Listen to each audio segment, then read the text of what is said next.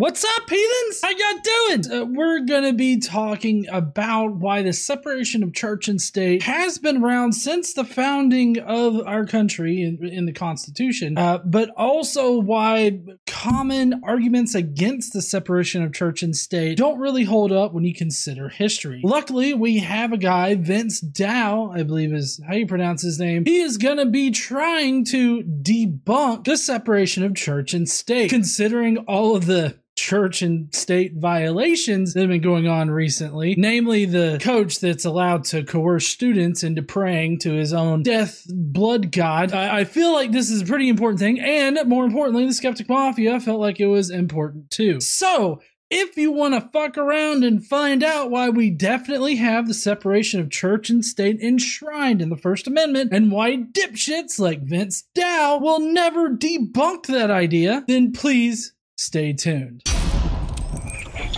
So we got Vince here. Vince is going to be trying to prove that the separation of church and state don't exist. He's only going to do it in the most disingenuous of ways. So just be prepared for that. Just so that we are all, you know, aware of what the First Amendment to the United States Constitution is. It's uh, Congress shall make no law respecting an establishment of religion or prohibiting the free exercise thereof, or abridging the freedom of speech, or of the press, or the right of the people peacefully to assemble and to petition the government for redress of grievances. You know, there's there's a lot in there in the First Amendment. The main part that we're looking at is that the Congress shall make no law respecting an establishment of religion or prohibiting the free exercise thereof. Now, typically what'll happen is that people will try to say that it's like a one-way mirror. So basically that the church can influence the state but the state can't influence the church. But the problem with that is is that there's a clear wall of separation between the two entities. All the influential people at the time of the constitution's writing and the first amendment's writing were all agreed on this wall of separation. Thomas Jefferson, in a letter to the Danbury Baptists, uh, famously called it a wall of separation. And uh, he was just explaining the purpose of it so that the government can't legislate anything against the Danbury Baptists. But because it's a wall and not some kind of like weird wall where shit can pass through one way but not the other. The Danbury Baptists similarly cannot influence the government, right? And influence the government would be like legislating the Danbury Baptist beliefs. So a lot of times these Christian evangelical dipshits, uh, what they'll want to say is that this only prohibits the government from establishing a national church. While it does do that, it also means that it cannot legislate theological beliefs of any particular religion, thereby making a law respecting an establishment of religion. Where they get really confused is that sometimes secular ideas about how a society should run, like you shouldn't be stealing shit from people, don't murder your neighbor, all this other stuff, like sometimes those things are also in religions. Like with Christianity, you've got thou shalt not kill right? Or thou shalt not murder. You know, they, they totally disregard the part where that's specifically a law that's given for the Israelite people. It's not like a law that's meant like just for everybody. So they, they totally disregard that. And then thou shalt not steal. Of course, stealing is against the law now. So these are these are instances where religious mandates in their holy book or their whole uh, or in their theology uh, have actual real world secular value. But what we're talking about when we're talking about not making a law respecting an establishment of religion, we're talking about legislating things purely because your holy book says so. A good example of this would be the blue laws that Texas really wants to defend. These would be the anti-sodomy laws. And these laws are specifically written to give the the the facade of just prohibiting certain types of sex from occurring. But the effect of the law is to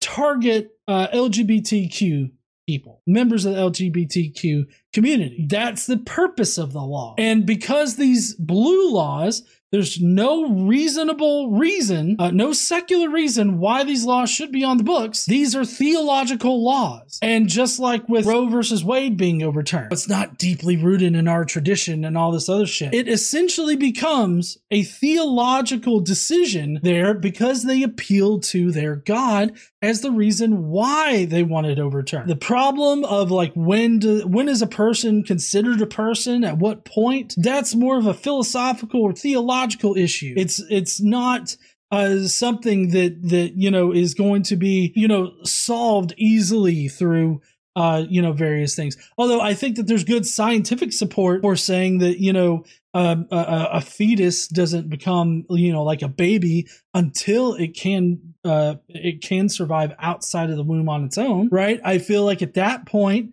that's a good distinction there because if it can survive outside of the womb all on its own, then that I th- I would consider that to be a whole ass person. We're not here to discuss that exactly, but it is it is a very deeply theological thing, and so these laws that are being made that limit abortion or uh, outright restrict abortion in all cases are theological laws. They only have theological value. They do not have secular value, in my opinion, because they go against science. They go against empirical evidence. Like they go against everything that we have available at, at our disposal. Goes against everything, all because a book says so. That's a theological law. So that's what we're talking about tonight. Okay? Just keep that in mind when we're addressing this guy's critique of the separation of church and state. So, firstly, when I say that America is a historically Christian nation, that is to acknowledge that for the vast majority of American history, America was a nation comprised overwhelmingly of Christian people. Don't give a shit. It really doesn't matter. That doesn't make the United States a Christian nation. When we talk, when we're talking about the United States being a Christian nation, we're talking about the United States, I guess, having an official religion that would be, you know, the Christian religion. Considering that we have religious freedom in this country, that means that this country can't be any one religion. So it's not a Christian nation. This is the kind of wordplay that they use. They play around with the definitions of words. And this is how they do it because they say, oh, by Christian nation, I mean, in the past, people have predominantly been Christian in this country. Well, no shit. The colonies were primarily founded for, you know, very religious reasons. The, the original 13 colonies had uh, various different original religions that were found finding them because they wanted religious freedom. And so they found their own colony and they could implement their own theological state, is basically what it was. Um, one of the most restrictive ones was like Massachusetts, uh, the you know the Puritan colony. Uh, they had some of the most restrictive laws. While in the South, they had to uh, sort of compromise with it a little bit and allow other versions of Christianity to also be included because they had such a need for a workforce down there considering all the crops that they were doing and, and just the, the kinds of crops that you can do in the south uh, it, it's different than in the north so the colonies were originally set up theologically uh, like on theological lines to say that you know we're a christian nation because we're primarily Christian in the past is just a bullshit playing with words kind of game. But on top of that, that is, fur- that is further to acknowledge that our culture, our history, and even to a large extent, the legacy of our politics uh, were shaped by our Christian moral foundations. That is not to say that everyone in American history is or ever has been a Christian. But he's wrong about the Constitution enshrining Christian ideals or Christian morals. The Constitution and the Bill of Rights are so antithetical to the message of Christianity that it's laughable that he even says this. The fact that we even have religious freedom is contrary to biblical values. The fact that we don't mandate that people take Sunday off is a way that, that this country is not founded on biblical values. And the biblical values that are in there have since been overturned, at least until the current Republicans decide they want to segregate schools again and even uh, and regressing even farther back, perhaps even enslaving people again. I tr- I really feel like if some Republicans had their way, these ultra MAGA America First fucks, if they had their way, they would repeal the 13th Amendment and start enslaving people. It is instead to say that we have an undeniably Christian heritage that has had no small impact on the founding of this country as well as just the legacy and the history of this country throughout the years. As John Adams argued, the Constitution was written only for a moral and religious people. It is wholly inadequate to the government of any other.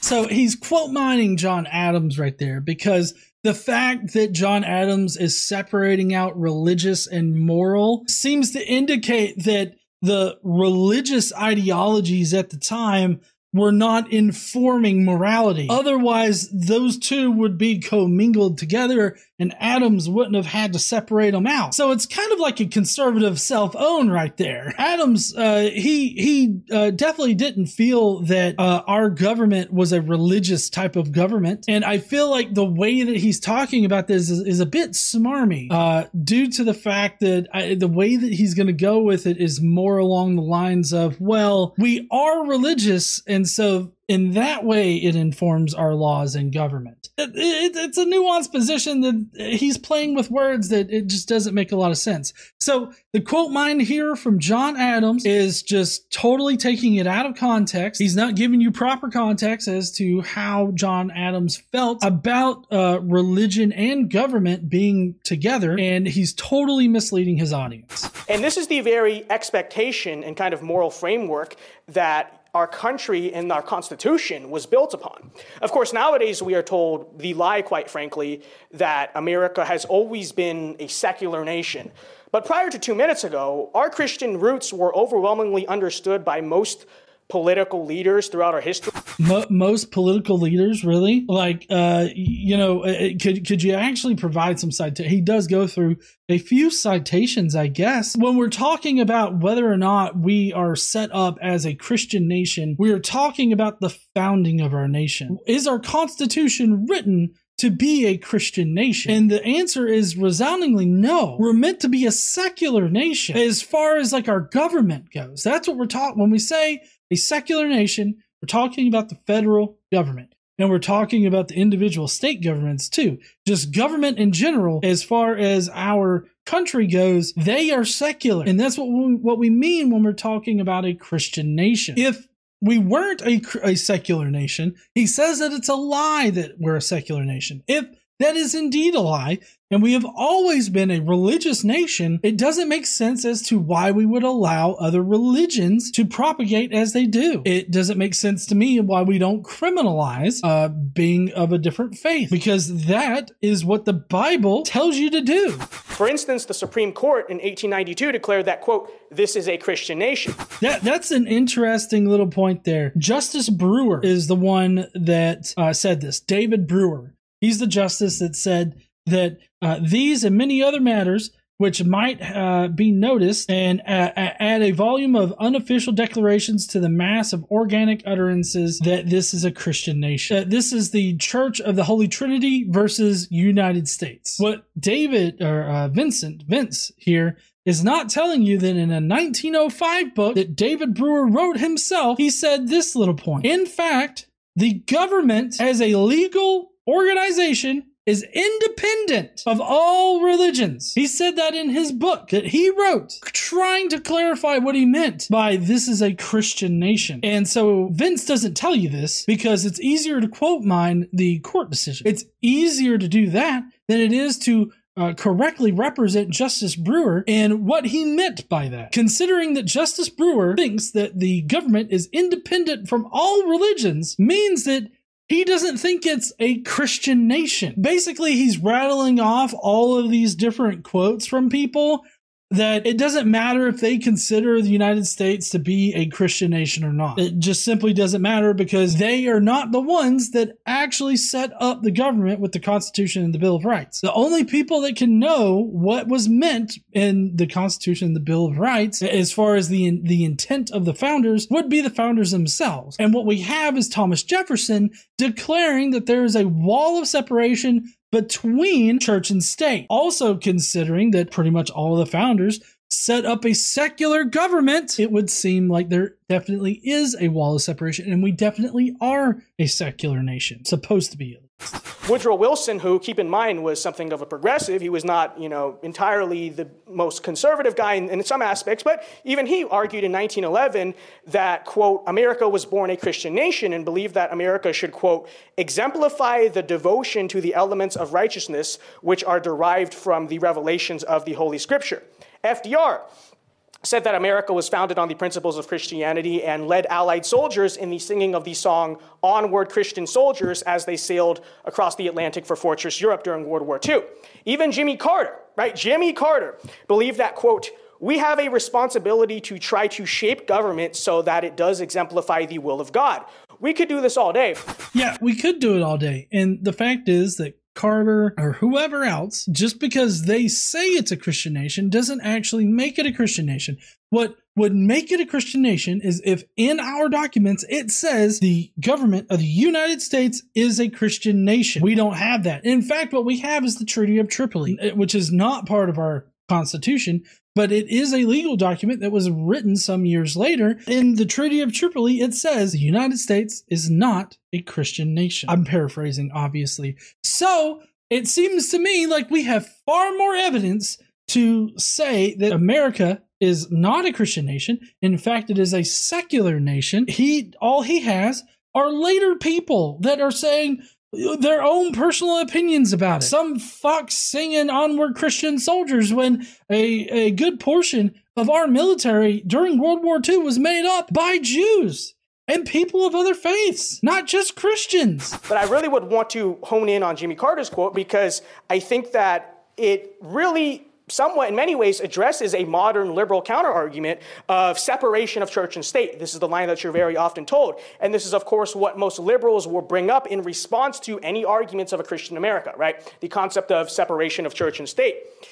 Liberals have taken this to mean that Christianity ought to have no impact on American life. I do want to correct myself. I, I thought that I read that the Treaty of Tripoli was signed by Thomas Jefferson. Signature of John Adams, not Thomas Jefferson. Fuck, the Jeffersonian threw me off. It was John Adams. John Adams signed uh, the uh, Treaty of Tripoli, not Thomas Jefferson. I don't know what the fuck I was thinking. So he's about to pivot the discussion here, and he's kind of led into that a little bit. The wall of separation of church and state is clearly in the Constitution and the first uh, in, in the Bill of Rights, the First Amendment. He's about to pivot it into a very nuanced and specific argument against the whole wall of separation, which is actually a straw man argument. Because what we're saying is that you can't legislate your beliefs, like theological beliefs of your religion, and force people to follow your religion, which is currently happening with the Supreme Court. And that the Christian faith should not guide culture in any way or public policy in any way whatsoever.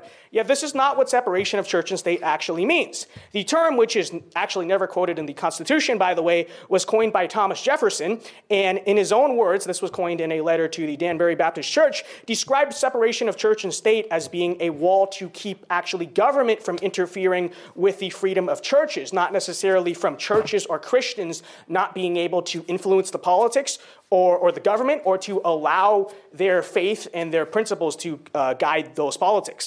So that's not actually what Thomas Jefferson was meaning there. So the entire letter that Jefferson wrote to the Danbury Baptists is freely available online.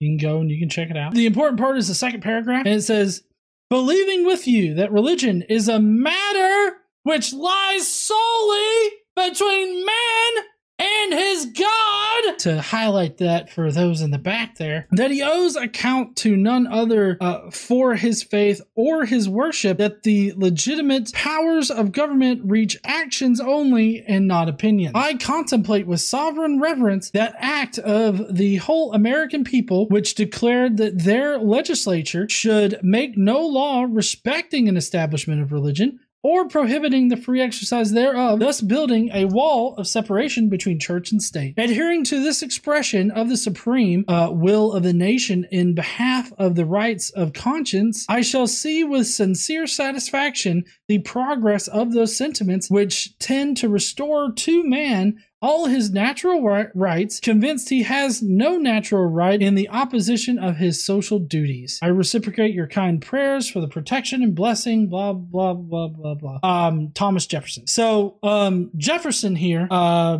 is trying to say religion should be constrained between man, a man, a person, and their God. Okay. That's where that uh, lies at. That's where that rests. And so what Jefferson is trying to explain here is that the state can't influence or force anything on churches or on religions or anything like that, but also the religions can't force their will upon anybody else through the state. So the religions can't influence the state and make theological laws that force everybody to follow their particular religion. That's what that means. And so you can't have one without the other. He's trying to have his cake and eat it too. And you just can't do that. What he's essentially wanting to do is he's wanting to sort of cut that concept in half and just say, oh, well, the government can't influence the religion. Okay. That's fine. You want to go that route? Perfectly okay. But you know what that means? Is that you, a religious person, is a different type of religious person than the Danbury Baptist, can't use the government to force their theological concepts or wills upon the Danbury Baptists. And we have a really good example of this that's going on right now with the Roe v. Wade situation. Because in um, Satanic Temple and in uh, Judaism, abortion is allowed and is part of their theological doctrine. Okay. So currently, a lot of states, they currently have these laws on the books that are theological laws that ban abortion. Now, they are using the state to force a particular theological position that abortion is bad and is always bad. And even if you're going to die from it, you have to die so your baby can live kind of sentiment. That's a theological thing. They are using the state to push a theological position on people of other faiths and no faiths at all. That's what they're doing right there. And they're trying to hide it behind this secular effort to save the babies. Except they don't know what the fuck they're talking about. If they actually read all of the research and everything on abortion and abortion services and women's health services and all that other kind of shit, they would know that it's not killing babies. They want to push their theological position because ultimately they want a theocracy. And we see this as plain as day in the Texas Republicans platform. The GOP's platform in Texas is a theological platform, and they, I could totally see the, na- the national GOP taking this up and wanting to push Christian religion on the people. And they, they think they can do that because of America being a Christian nation. So this right here, what this guy's trying to do, he's trying to pave the way for a theocracy. Even if he's going to deny that he's doing that, even if uh, you know, people come in and it's like, no, we don't want a theocracy. We just want Christianity to, you know, be pushed on everybody. That's a theocracy, dipshit. In short, separation of church and state meant that government cannot stop freedom of religion and government cannot formally establish a state religion, right? So, you know, the U.S. government has no authority to say this is a Catholic nation or this is a Baptist nation or this is, you know, any other religion. But that's basically it, you know. I like how the only things that he can come up with are denominations of Christianity. You know, know, you can't say that it's a Catholic nation or a Baptist nation or a, even a Protestant nation, but it is a Catholic, na- uh, a Christian nation. It's definitely Christian nation there. but, but he, th- he throws all the other possibilities in with or any other religion. And he didn't mention other religions. He mentioned one religion. I feel that's a little telling. Oh, that's all that the First Amendment says. You know, you can read it. It never says that Christians can't be involved in politics or that religious motives cannot impact public policy. The only real kind of restriction on religion in politics is simply the fact that, you know, the church cannot formally run the country, right? We're not a formal theocracy, obviously. Really? It's a little hard to tell right now. Now, of course, this was released back in April, I believe, uh, so it's not most recent, but uh, you know, it's really hard to discern our government right now from a theocracy considering that you have these six people on the Supreme Court that seem to be dictating our lives right now. They're dictating our lives based on Christianity. Nothing, nothing of secular value. Tell me what's of secular value to base your Supreme Court decision off of shit that was going on in the 16 fucking hundreds, huh? How is that applicable? That's like, what, 176 years before the Revolutionary War? And even longer than that uh, before our, our uh, uh, nation was even set up. Like, how are you going to base your Supreme Court decision on something in the 1600s unless it was completely theological in nature? It's completely based on Christianity not on what's best for this large group of people, not what is best for all people, what's best for Christian people. That's what they made the decision. Enacting laws that reflect Christian morality is not a violation of the Establishment Clause, and the idea that it is is just ridiculous. At the time of America's founding, Christian motives absolutely impacted public policy. Um, I, I don't I don't see where it did. This is this is full of conservative cell phones because obviously when our nation was initially set up, they got a lot of shit wrong. So if if that's the case, if our nation was set up uh, congruent with biblical values, then that means that biblical values include slavery. Biblical values include treating women as property. Biblical values means that women are less like in the eyes of the state they are of less value than men and, and, and so many other things uh, are were wrong so much so we've had to amend the constitution we had to amend the constitution immediately with the bill of rights. So i mean it, it just it baffles me that somebody can be so oblivious to what in the fuck they are saying than vince dao right now. Because he's he's totally painting biblical values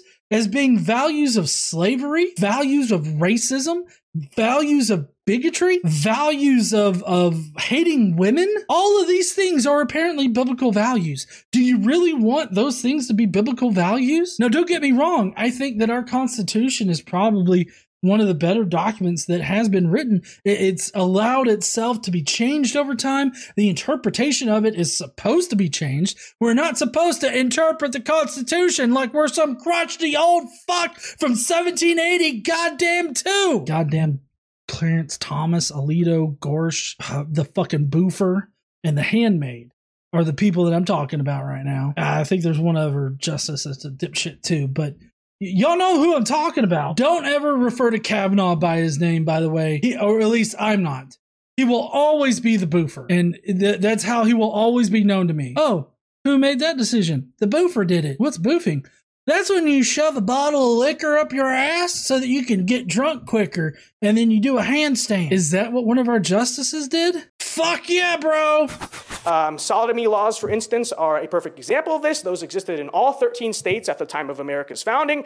Uh, there are plenty more. Okay, so the original founders of the colonies, which is different than when our country was founded, the colonies. So, so these different colonies here, they they didn't have fun with sex. They had very boring sex.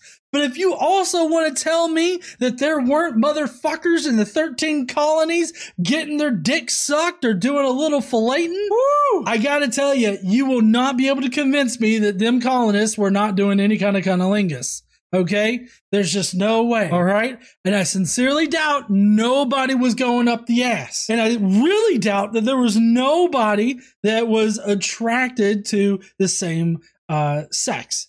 Uh, you know, it's just, it's so fucking weird to think that, oh, well, we got these things on the books here. So that must mean that we're following the moral code of the Bible. It's like, hmm, blue laws or uh, anti sodomy laws, those are very theological in nature. That's true. But if you're going to sit there and tell me that people weren't sucking dick or, or, or giving some cunnilingus in there, like, you're going to tell me that wasn't happening? I really doubt it. Really doubt it. Or you can, have, for example, I think a good example would be to research all of the kind of religious tight social conservative laws that were in place in Puritan Massachusetts. And you know, at the time of America's founding, Massachusetts, you could argue, was almost something more or less of a borderline theocracy at the time. No, no, no, no, no. They were a theocracy. Okay, it's not, they were kind of a borderline theocracy, just kind of right there on the line, like think Iran, but just a little bit less there.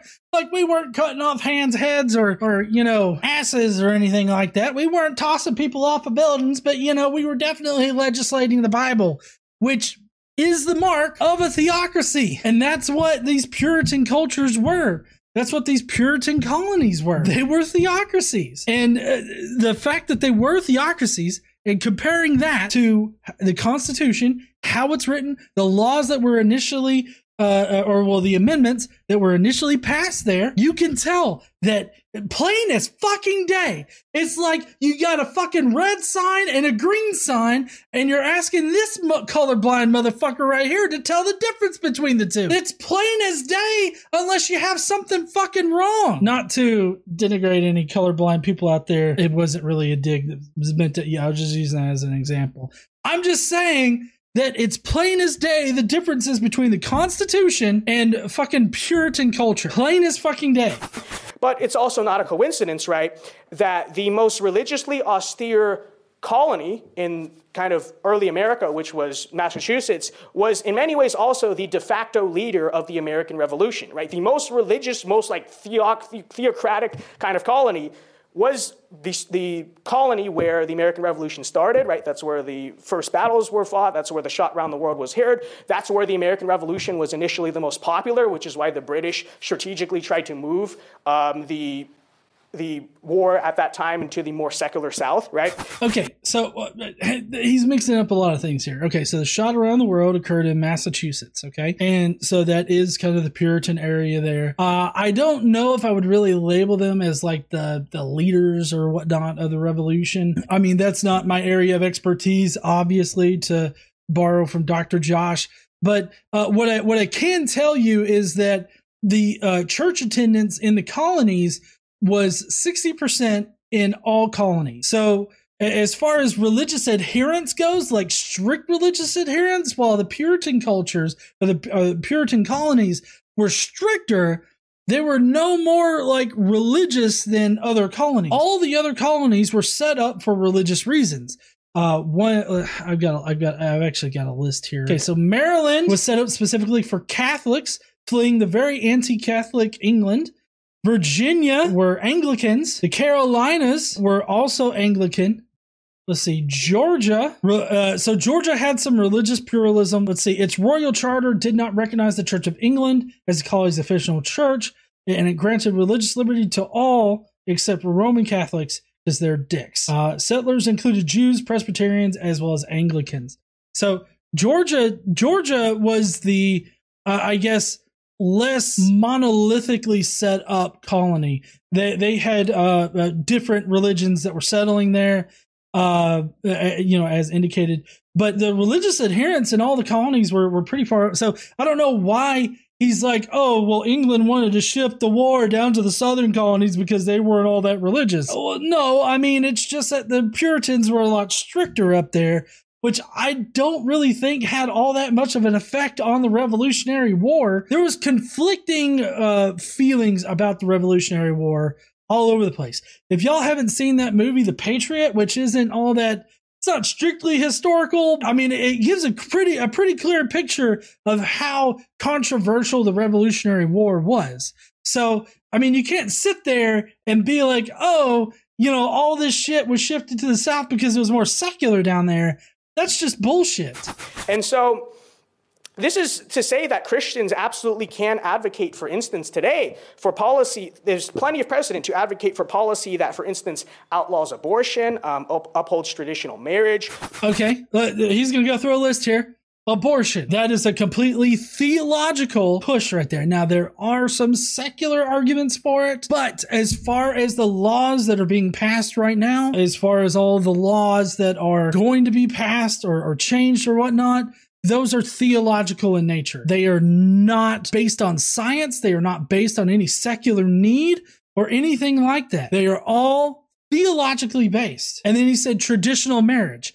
That is completely theological because only in religions and theologies do you find them being like, ew, you have the same parts? That's fucking icky. Like, if you don't want to get gay married, then don't get gay married, okay?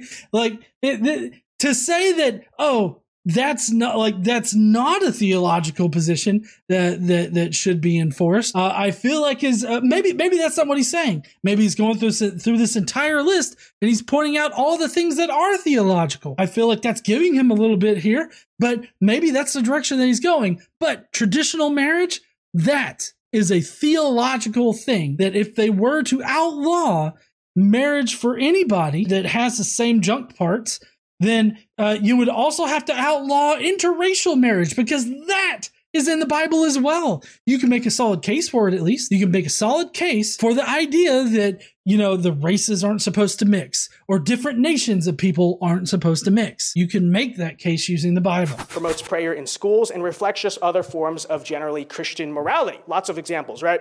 Laws like this existed at the time of our founding, and our lawmakers understood this for most of American history. Just ask Jimmy, Jimmy Carter. I mean, is he known as like a austere conservative figure in history? No, but even he kind of understood this. Yet the separation of church and state, folks, uh, for those people who still claim that a secular government equates a secular nation, what I would say furthermore, which, you know, I think first of all, there's a misunderstanding of separation of church and state. okay, okay, hold on. If the government is secular and the, the, na- like what we consider the nation is the governing body of, of the country that we're in, uh, and not the individuals that make up that nation. Saying that our country is secular or our nation is secular doesn't mean that people in the the nation or or the country are, are irreligious. That's not what that means. Jesus fucking Christ. He loves to play around with words here. But I'd also say that the argument in itself is somewhat flawed in the sense that a nation is also more than just a government. A nation is a people. And the truth is that America was an overwhelmingly Christian people for most of its history. Let's see. Nation, a large body of people united by common descent, history, culture, or language inhabiting a particular country or territory. He's playing around with the the words that are being used here because when when we're talking about the separation of church and state and how we're a secular nation we're discussing nation in the idea of you know this is our government this is our country this is our this is us as a whole right that's what we're talking about when we say those things. But he's playing around with the words here in order to uh, argue a very specific point that what he's talking about is the majority of people, like the the people that inhabit the nation, is what because it's like a large body of people united by common descent. Uh, history, culture, or language. He's talking about the individuals within it. It's almost kind of like a composite sort of fallacy here. But what a composite fallacy is, is when you take a small piece of a whole and then you describe the entire whole as that thing, right? So if we if we take a look at this analytically, what he's doing is he's taking a piece of the nation, being the Christian population, regardless of how many people are Christian in this nation. Uh, he's taking a piece of that and he's applying it to the whole. That's the wrong way to do it because obviously, just because even if a majority of people are Christian, that does not make the entire group a Christian nation or a Christian group of people. That's not how that works. Since we have people of different faiths and non faith, you would have to describe that group of people as being secular, as being not described monolithically by religion, but one specific religion. So this is yet again another conservative self-own here because he's playing around with words to the point where he's making these very obviously illogical statements. As late as 1990, 85% of America identified as Christian. Obviously, this is a number that's been declining over time, but that's kind of where it stood 80, 85 to 95 ish percent for most of history.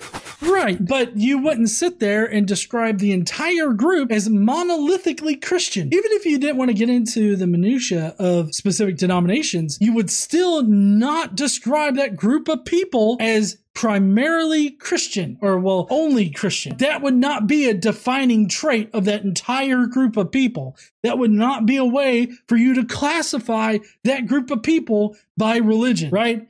So again, conservative cell phone here. Separation of church and state is terribly misunderstood, but even to the extent to which America's government is formally secular, um, it is important to acknowledge that nations are not just defined by their governmental systems, right? You can make Canada, you can change the government, for instance, in Canada, you can make that into a dictatorship or a communist or whatever you want to do it.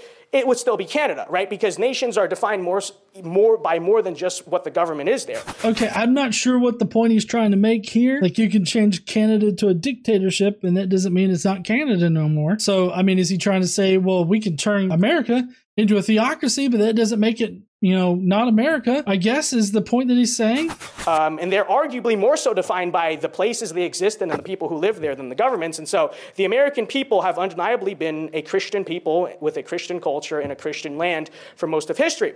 It doesn't matter if a majority of the population for a majority of the time has been Christian. That doesn't matter at all. The, the fact that we allow other religions to exist uh, within our nation, the fact that we have people that are not defined by any kind of religion means that you can't use religion to classify us as a people because we have such diverse views on it. And even saying that, oh, it's a Christian nation, it's like, well, what kind of Christian? You've got Baptists, you've got new independent fundamentalist dipshits, you, have got Catholics, you've got that whatever that fundy shit is, the the hand, the Justice Handmaid is in. You've got that gun, that gun fucking group, uh, I, I think over there in Pennsylvania that uh, you know worships guns. You've got people that uh, that are Muslim. You've got people that are Jews. You've got people that are Hindus.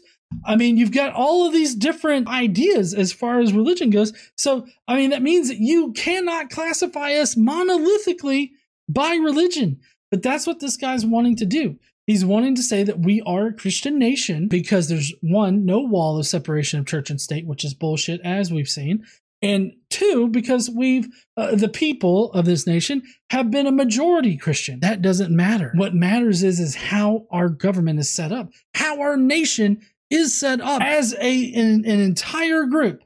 That's what matters in this situation. This particular topic gets me really riled up as y'all can tell. I had to scream multiple times. But all in all for Vince's uh, video here. So for Vince Dao's uh, video here, I did not find any kind of compelling argument that we are indeed a Christian nation and that the wall of separation of church and state does not exist. We sat there and we read through Thomas Jefferson's letter to the Danbury Baptist where he clearly lays out that the government can't enforce any kind of religious legislation on its people. The government can't control religions and religions can't control the government. That's exactly what he's saying. And you cannot only have half of that equation. You have to have that entire equation because as soon as you have a religion that's legislating theological beliefs onto its people and onto the churches, you have already violated that one half that you are willing to have, that you're willing to give us. So no matter what, Vince, you're fucked in your argument. Uh, in your argument, you're fucked. And you can't make a coherent argument. What he had to do was appeal to people that didn't help set up our government. He even misrepresented a few of them, misrepresented what they meant by saying this is a Christian nation, nation in some shit. The one being Justice Brewer. That guy doesn't want to tell you that Justice Brewer actually consider the state and religion to be independent of one another, which is a clear separation of church and state. So all in all, Vince is just lying to. He's cherry picking the information in order to make his argument, but a simple look at the actual history of our nation will show that it is not a Christian nation and that there is supposed to be a wall of separation between church and state. No matter what the boofer, the handmaid, uh, Uncle Thomas Clarence over there, Gorsuch, whatever the fuck his name is, Alito, any of them, no matter what they say, this is not a Christian nation.